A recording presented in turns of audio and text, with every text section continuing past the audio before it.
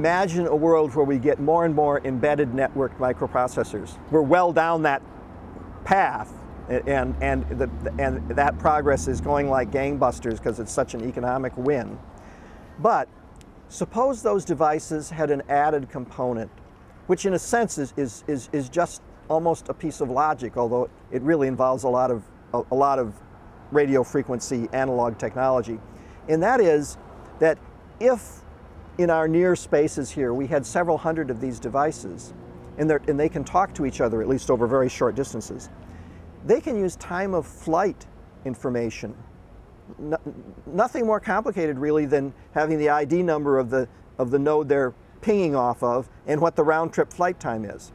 And uh, although it's very tricky, uh, it's, it's, it's commonsensically pretty uh, obvious that working together, they could determine the geometry of their entire situation and, and then communicating with things further off, they can, they can set that within the geometry of the world.